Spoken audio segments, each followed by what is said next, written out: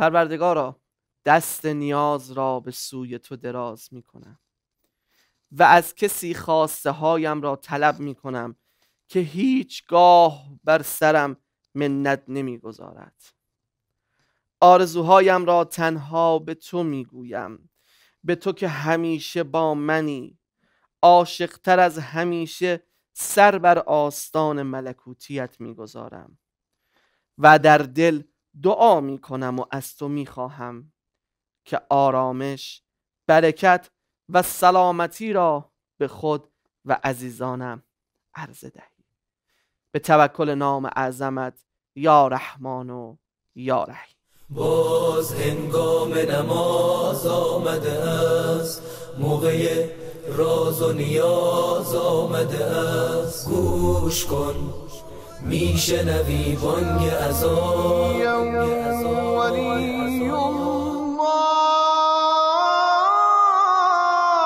انعکاس خوش آهنگ از آهنگ از مهربان داور ما منتظر است. مونس و یاور ما منتظر است. بنشینیم لب حوز دعا. بسپاریم دمی دل به خدا. بسپاریم دمی دل به خدا. گوش کن یا تو را می‌خوانم. بهترین کار تو را می‌خوانم. بهترین کار تو را می‌خوانم. بهترین کار نماز است. بیا لحظه راز و نیاز است بیا. بهترین کار نماز است بیا. لحظه راز و نیاز است بیا. به نام خداوند بخشنده مهربان سلام و درود بر مهدی موعود عجل الله تعالی فرج شریف و اجداد طاهرینشان بینندگان عزیز و ارجمند شبکه جهانی بیت العباس علیه السلام سلام وقتتون بخیر. انشاءالله که حالتون خوب باشه و ایام به کامتون باشه. یک روز دیگر و از آن هنگام به افق کربلا مهمون خونه هاتون شدیم با برنامه بربال ملائک. امیدوارم که تا انتها ما رو همراهی بفرمایید و از این برنامه استفاده و حظ و بهره کافی رو ببرید انشاءالله. یک شنبه ها رو پیرامون نهج البلاغه و سخنان مولا امیر المؤمنین علی علیه السلام در این کتاب ارزشمند با هم دیگه صحبت می‌کنیم و گوشه ای از نهج البلاغه رو برای شما عزیزان می‌خونیم تا انشاءالله بتونیم از اون هم بنده هم شما و هم همکارانم استفاده کافی رو ببریم. سخنان گوهرباری که باید بگیم اگر ازش استفاده نکنیم خیلی ضرر کردیم چون در هر موردی مولا برای ما سخن و راهکار گذاشته.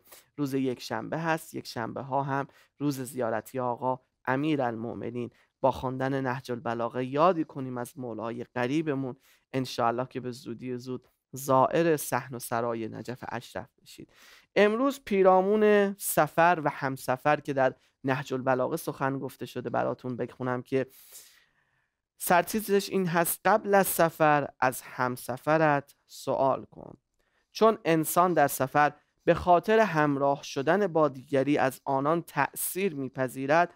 مولا امیرالمؤمنین علی علیه السلام سفارش فرمودند قبل از سفر از حال و احوال همسفرت جویا شو تا بدانی با چه کسی همسفر هستی و در نتیجه صفات بد دیگران بر ما تأثیر منفی نگذارد. از طرفی سعی کنیم با افراد خوب همنشین و همسفر شویم تا از کمال آنان بهرهمند شویم. پیامبر گرامی اسلام حضرت محمد مصطفی صلی الله علیه و آله و سلم نیز میفرمایند دو نفر که همراه یا همسفر می‌شوند آن کس پاداش او عظیمتر و نزد خدا محبوبتر است که نسبت به همدم خود مهربانتر و عطوفت بیشتری داشته باشد.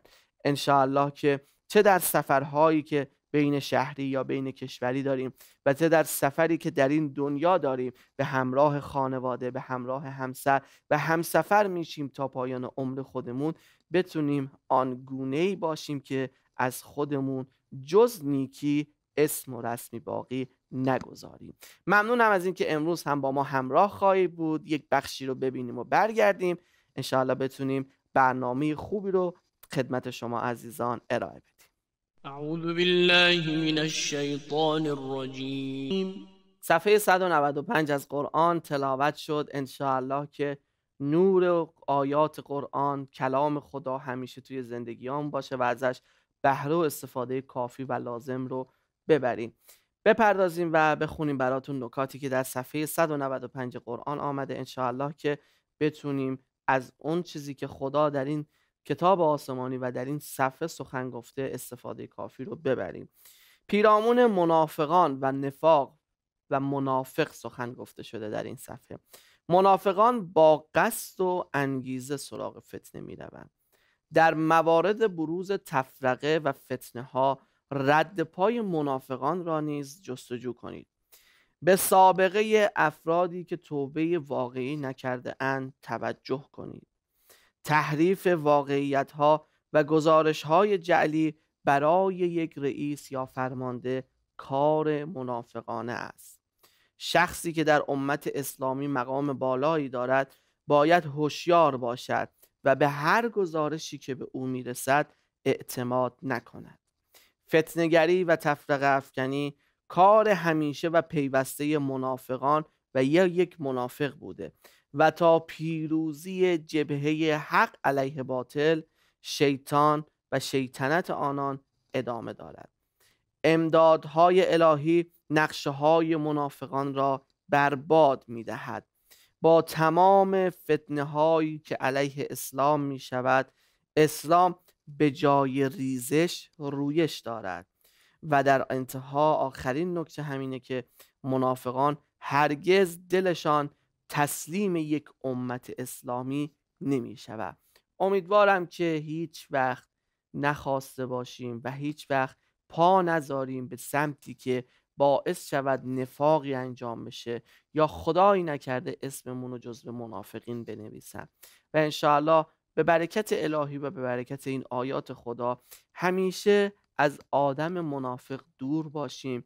چرا که ضررش به ما نرسه و دوم که شامل این نشیم که میگن کمال همنشین در من اثر کرد. خدای نکرده دوستی با آدم منافق باعث نشه که ما هم این خصلت بد توی وجودمون پرورش پیدا کنه ممنون از اینکه ما رو همراهی میفرمایید. یه بخش کوتاهی رو ببینیم. برگردیم.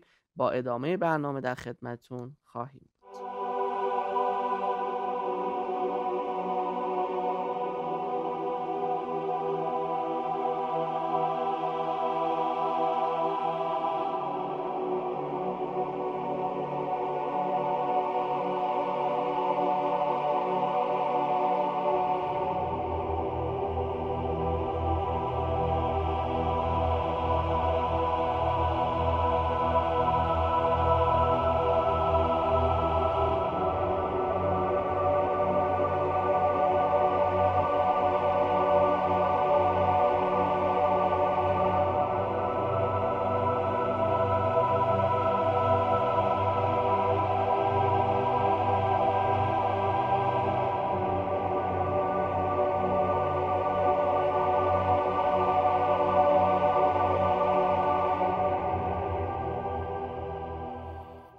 او با کولباری از صبر می آید و برای هدایت مردمان قرآن را می آورد او مثل ستاره درخشان در تیر ترین شب و مثل کوه بلندی در جنگل وحشت آمیز ظاهر می شود او با قرآن پیامبر در سینه و شمشیر مولا و امیر المؤمنین در دست با مهر زهرا و صبر حسن و شجاعت حسین می آید سر تا پای او نبوت و ولایت است. او صفات همه پیامبران را با خود به همراه دارد. او با ظهورش دین را بر همه جهان حکم فرما می سازد و قیامش مانند قیامت و از بین برنده همه گناهان و نامش از بین برنده همه نامردی هاست و سرانجام اوست که کافران را به سزای اعمالشان میرساند و رسالت پیامبران و زحمات آنان را نتیجه میبخشند. مولای من یا صاحب از زمان جهان در انتظار توست.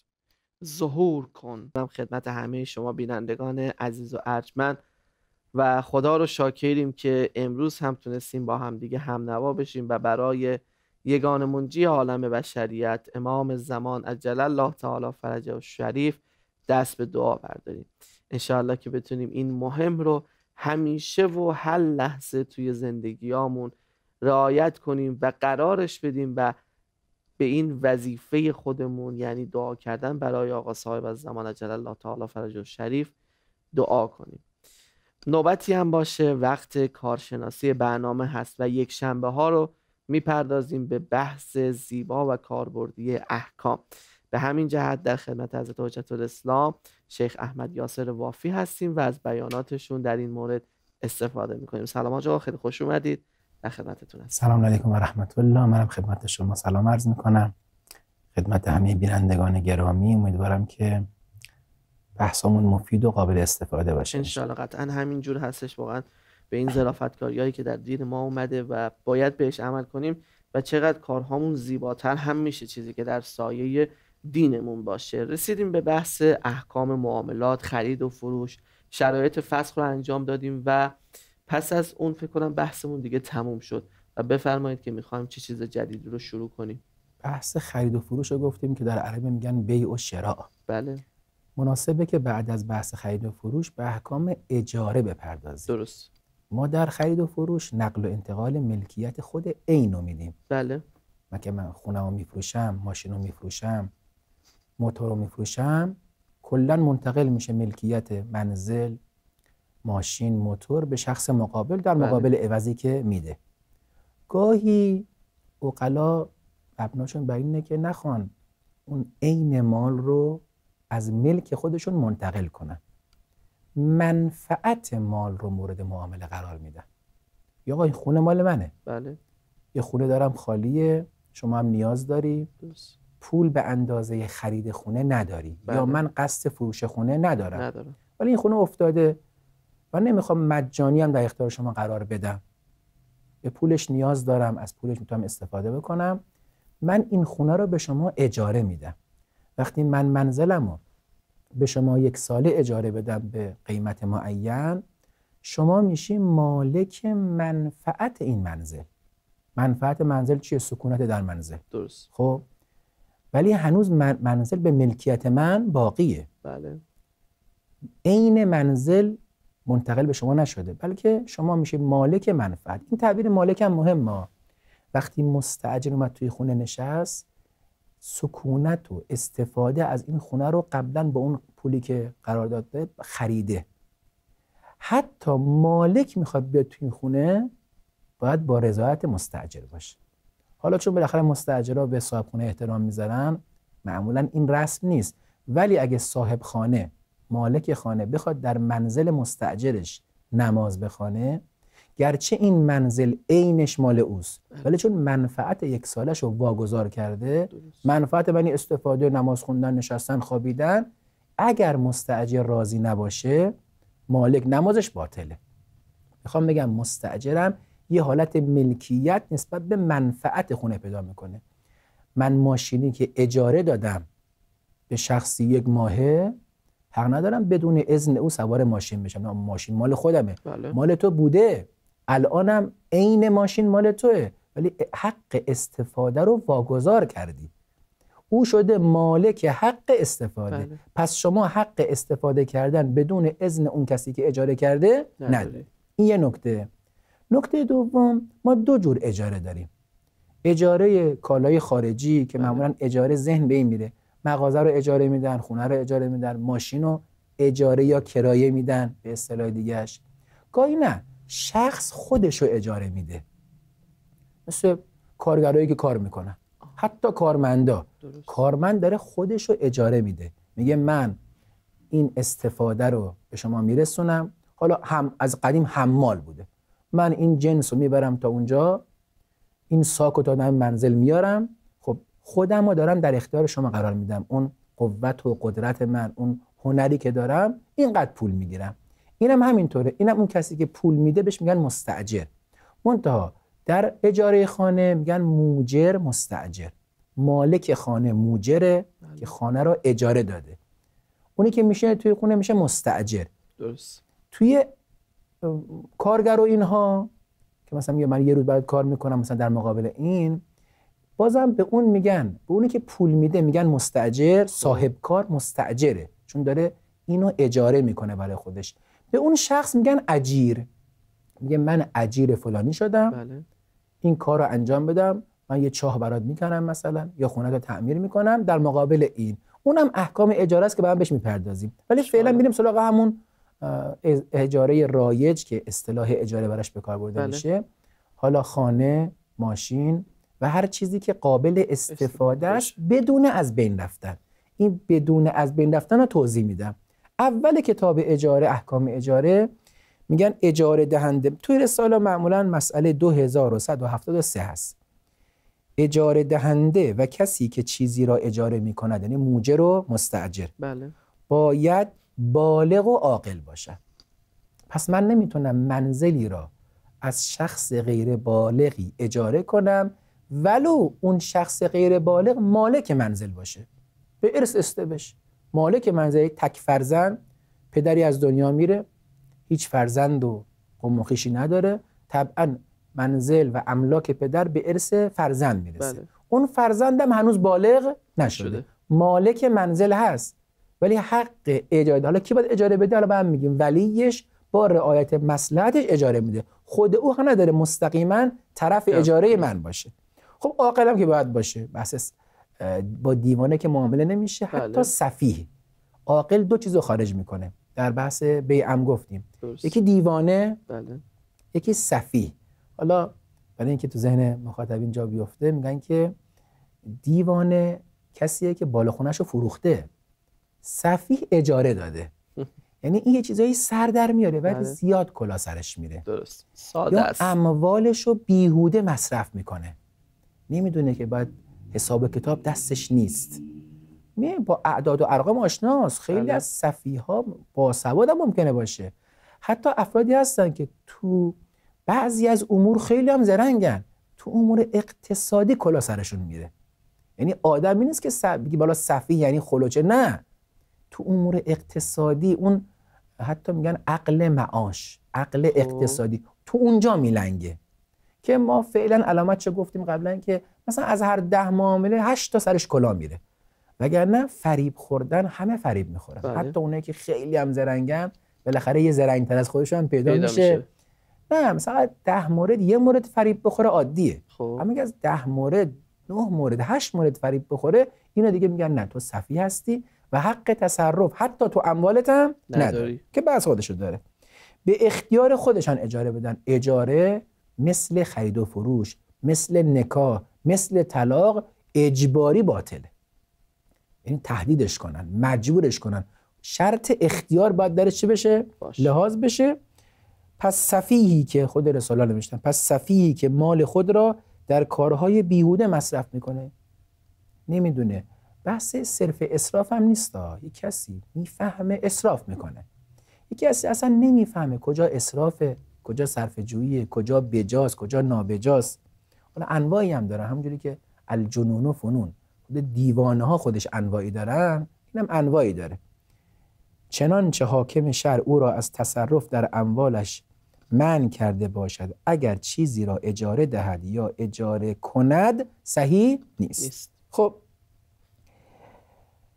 اینم بد نیست بگیم واگذار کردن منافع ملک یا منافع شخص. منفعت من اینه که می‌تونم یه باری رو حمل کنم. درست. یه کاری رو انجام بله. بدم. اجاره میگن. اجاره دهنده باید بالغ و عاقل باشن با قصد و اراده و ادامه داره که این یکی از تعبیر نفر دیگه بود. اگر ولی یا قیم. کسی که ولی یه طفل نابالغه مثلا شخصی پدرش از دنیا رفته. بله. صاحب منزل پدرش شده. یه پدر بزرگ پدری هم داره. پدر و پدر بزرگ پدری به حکم شر ولی اطفال نابالغ هستن. بله. بله اگر کسی نه پدر داره و نه جد پدری اینجا حاکم شر میاد قیمومیت اینو به عهده می‌گیره. فقیه عادل فقیه عادل اون حقی که همه براش قائل هستن یکی از اونها که سرپرستی اموال یتیمان موقوفات بی سرپرستان کسی که شارع راضی نیست که اینو هدر برن بله. یا رها بشن. یه یتیمی از دنیا رفته ولی شرعی هم نداره.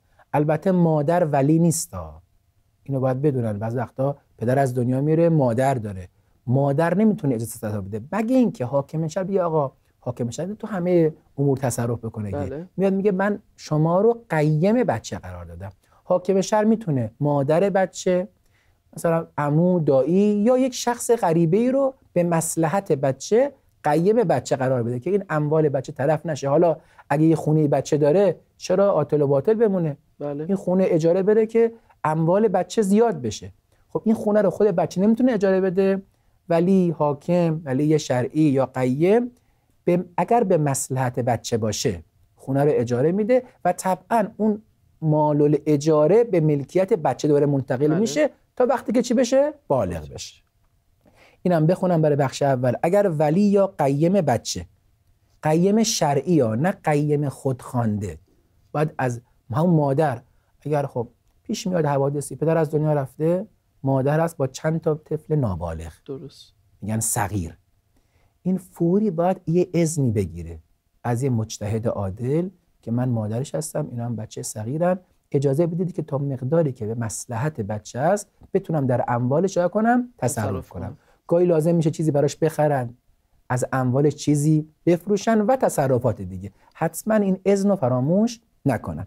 اگر ولی یا قیم بچه مال او را اجاره دهد نه تنها مال او را اجاره بده حتی می‌تونه خود بچه رو یعنی من نمی‌تونم یه بچه ای رو به عنوان کارگر بگیرم. خب. چون حق تصرف تو درباره خودش هم نداره تصمیم درسته. نابالغه دیگه بله. ولی ولی بچه می‌تونه بگه آقا این بچه مثلا برای شما کار بکنه بچه رو در مغازه میذاشتم مثلا بله، بله. اینا خب این قدم قرارداد میبندم مثلا روزی این قدم بهش مزد بدید مثلا مزد مال چیه مال به ملک بچه منتقل بله. میشه ولی کسی حق نداره که طفل نابالغی رو بدون اذن ولی قیم یا مجتهد عادل اجیر. کنه به کار بگیره چه نه این میشه همون غصب همین هم میشه غصب منفعت شخص حر خب اشکال نداره اگر ولی یا قیم مال بچه رو یا خود بچه رو اجیر می‌کنه و اگر مدتی از زمان بالغ شدن او را جزء مدت مثلا فرض کن بچه 14 سالشه خب. هنوز بالغ نشده. بله. این بچه رو دو سال کارگر یک مثلا سازمان یک اداره قرار میده که یک سال که میگذره بچه بالغ میشه. در ادامه مدت اجاره دست خود بچه است که بگه ادامه میدم یا فسخش بکنه. کنه. ببینید بچه بعد از آنکه بالغ شد می‌تواند بقیه اجاره را به هم بزنه. چون اجاره به عقد لازمه. بدون اون اموری که قبلا گفتیم نمیشه به هم بخوره ولی درست. بچه حالا بالغ شده حق تصمیم گیری پیدا کرده. می‌تونه بگه من نمی‌خوام دیگه اجیر فلانی باشم. گرچه قرارداد شده. این قرارداد رو چکار کنه؟ به هم بزنه. اینم بخونم برای بخش اول. بچه صغیری را که ولی ندارد. عرض کردیم ولی کی بود؟ ولی پدر یا جد پدر. از نظر شرعی. بدون اجازه مجتهد عادل نمیشه اجیر کرد. نمیشه به کار گرفت. کارگر کارمند هر کاری که و کسی که به مجتهد دسترسی نداره. این نکته خیلی مهمیه. بله. گاهی به مجتهد عادل دسترسی نیست. نیست. حالا در این منطقیه که مثلا قدیم که حالا ارتباطات کم بوده. یا تا بخواد دستی پیدا بکنه این اموال بچه از بین میره. نیازه که زودتر این بچه یا ازش کار بکشن در مقابل مزدی یا اموالش رو اجاره بدن. اینجا از یک مؤمن عادل اجازه بگیره. حتی اگه مجتهد نیستا از شرعی تصرف تو این امور مخصوصا بی سرپرستان اول مجتهد عادل اگر امکانش نبود یا خدای نکرده در زمانی مجتهد عادلی نبود, نبود. یا مجتهدی نبود یا مجتهد عادل نبودن. اینجا از یک مؤمن شیعه مؤمن عادل. حالا امام جماعت محل. یا اجازه بدید که من اموال اینو اجاره بدم. اگه اونو اجازه بده کافیه, کافیه. میگن ولایت عدول مؤمن اصطلاحشه. میگه می‌تواند از یک نفر مؤمن که عادل باشد اجازه بگیره. حالا یا خود بچه رو اجیر کنه اگه به مصلحت یا مال بچه رو چا کنه اجاره بده. به شرط آن که اجیر گرفتن بچه نابالغ به مصلحت او باشه. یعنی می پول خوبی باشه درسته. برای آیندهش مفید باشه.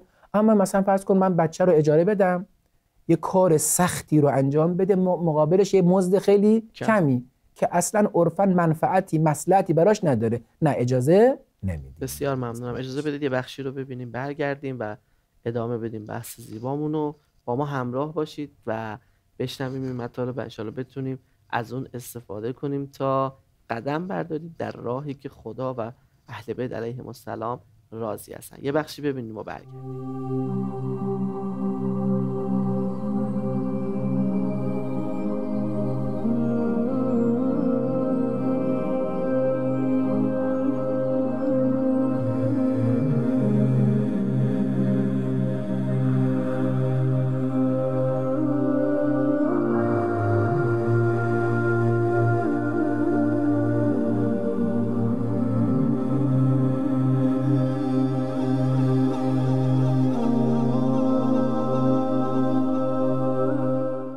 ممنون از اینکه شبکه جهانی بیت العباس علیه السلام و برنامه اذانگاهی بربال ملائک رو برای تماشا انتخاب کردید.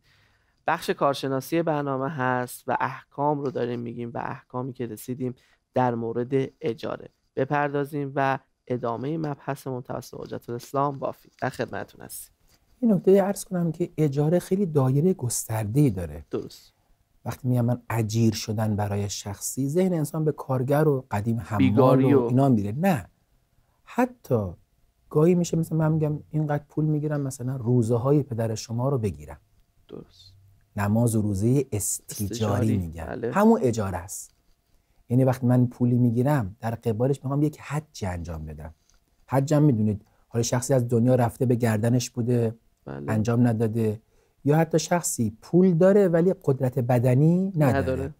مقداری پول به شخصی میده میگه مخارج شما رو میدم برو حج برام انجام بده این نوع اجاره است تمام احکام اجاره در این موارد هم هست تا میگیم اجیر شدن ذهن به کارگر میره ولی کارمندم اجیره بله داره. کار می‌کنه در قبال کاری که انجام میده مزدی می‌گیره. می‌گیره معمولا تو اجاره مزد توی اجاره منزل و اشیاء غیر منقول یا منقول اگر مثلا موتور و ماشین رو منقول حساب بکنیم میگن اجاره بها مال الاجاره. درست.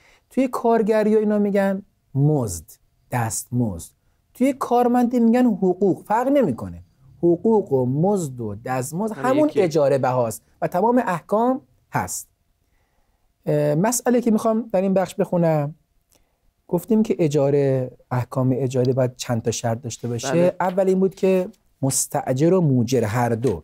باید بالغ و چی باشن؟ عاقل باشن. باشه. دوم اینکه اون مالی که اجاره میدن یا اگه خودش رو اجاره میده برای حلال باشه. یعنی اگه من دکانی که اجاره میدم میگم دکان اجاره میدم تو شراب فروشی کن مثلا. این اجاره باطله. خب اون که تو این دکان داره شراب فروشی می‌کنه. خب جای خودش مرتکب گناه و معصیت. اون پولی که به من میده بر من حلال نیست, نیست. دکان خودم اجاره دادم. منتها چون در راستای فعل حرامه پولی که می‌گیرم مالک نمیشه. یا مثلا شخصی خودش رو اجاره بده. آقا اینقدر پول بگی برو فلان مؤمن و فلان مسلمان رو بکش به قتل برسون. اینجا هم داره حرام. پولی می‌گیره برای کار حرام. حرام. حالا دیگه مثال واضحش رو نمی‌زنم. اگر انسان برای انجام کار حرامی دستمزد دریافت کنه مالک اون دستمزد نمیشه. یعنی حتی اگر اون کار حرام رو انجام داد باید اون پولی که گرفته به کی برگردونه؟ به اون مالک اصلی برگردونه. اگه مالک نبود به ورثش اگه ورثه نبود از طرف چه کنه؟ صدقه بده. صدقه یعنی اینکه من با کسی توافق می‌کنم که برای او کاری انجام بدم و. دستمزدی بگیرم اگه کار حلال باشه مستحق گرفتن اون دستمزدم و وقتی گرفتم مالک میشم. اما کار حرام باشه. اگه نگرفتم حق مطالبه ندارم. خب. و اگر گرفتم باید بهش برگردم. نگه آقا خودش گفت این کار رو انجام بده پول بد میدم. اون اونم گناه بله اونم گناه کرده که شما رو برای کار حرام اجیر کرده. ولی نقل و انتقال ملک اسباب شرعی باید باشه. بله. اون پول رو حتی اگه به شما داده باید بگه آ من فهمیدم این کار من حرام بوده و من مالک این پول نشدم. بله حالا اون طرف بگه عجب مردانگی داره که مثلا عجب مثلا تدینی داره. من پولو بهت بخشیدم اون یه حرف دیگه ایه بارها شما هم سوال فرمودید مثلا یه بوده حالا چیکار کنه؟ درست. اگه اون طرف به من پول داده یه کار حرامی براش انجام بدم بعدا می‌خوام پولو بهش پس بدم به هر علتی گفت آقا من پول نمی‌خوام از تو. اون بخششه اون هبه است. وگرنه من باید پس بدم و او حتی حق چی داره؟ حق مطالبه. داره. داره. اینجا معلوم میشه که ما باید تو افعالمون هم بدونیم چه کاری حلاله چه کاری چه حرام؟ کاری حرامه. این ربطی به معاملات نداره. ما می‌خوام برای کسی کاری انجام بدیم. الان من یه آگهی استخدام می‌بینم. ما به شخصی که فوق لیسانس داره برای کار کردن در شرکتمون مثلا ماهیانه اینقدر میلیون پول میدیم. فوری ذوق بر نداره. پول خوبیه برم. نه خب چی کار می‌خواید تو این شرکت بکنید. چه عملیاتی انجام می‌دید؟ گاهی مستقیما اون کار حرامه. مثلا شما دارید مواد مخدر مثلا شراب مثلا بله. فرض کنید که یه اضراری شرخرها هستن مثلا پول میدن که بره طرفا بزنن. بله. بله اگه کسی مستحق مؤاخذه و اونم با اجازه حاکم شهر و فقیه عادل نه آقا این پول بهت میدم. برو فلان اونقدر بزن تا چرا کنه؟ بدهی منو بده. بده. خب این کار حرامه. بله. که طرف چکی داره از کسی نمی‌تونه وصول کنه. خیلی خوب. نمی‌تونه وصول کنی یا طرف می‌تونه بده و نمیده باید تقاس کنی. اگر بتونی از مجاری نمیگم قانونی شرعی که گاهی با قانون مطابق است گاهی مطابق نیست. و اگر نداره بده باید صبر کنی. نظر شرعی و بدهی مهلت داد. اگه واقعا نداره بده.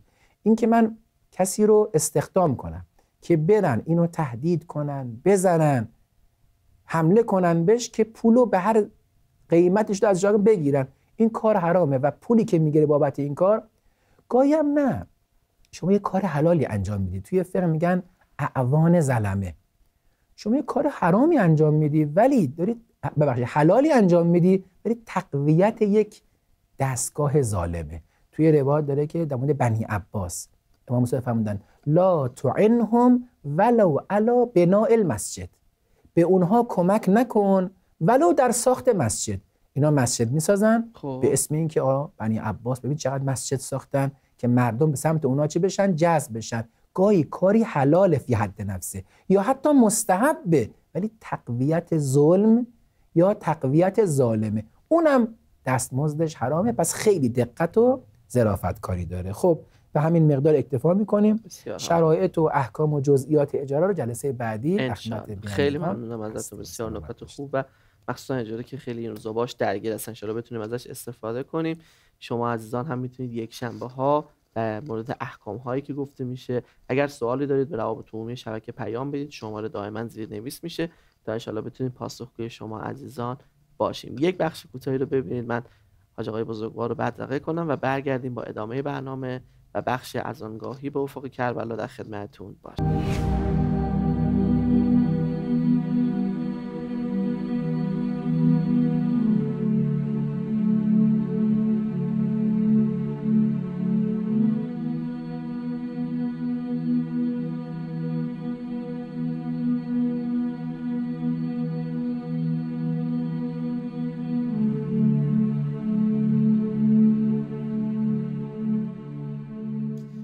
خدا رو شاکریم که امروز هم تونستیم مهمون خونه های شما خوبان باشیم و لحظاتی رو به گپ و گفت بپردازیم. مخصوصا احکامی که در مورد اجاره گفته شده انشالله که گوش کنیم یاد بگیریم و تو زندگیامون استفاده کنیم تا بتونیم حتی توی کوچکترین کارهای زندگیمون هم اون قدمی رو برداریم که ما رو به سعادت و عاقبت به خیری نزدیک کنه.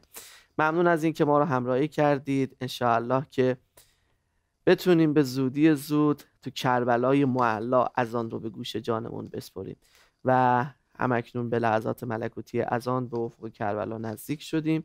شما رو دعوت می‌کنم زائر کربلای معلا بشید و انشالله به زودی زود تو اون سرزمین بهشتی قدم بردارید.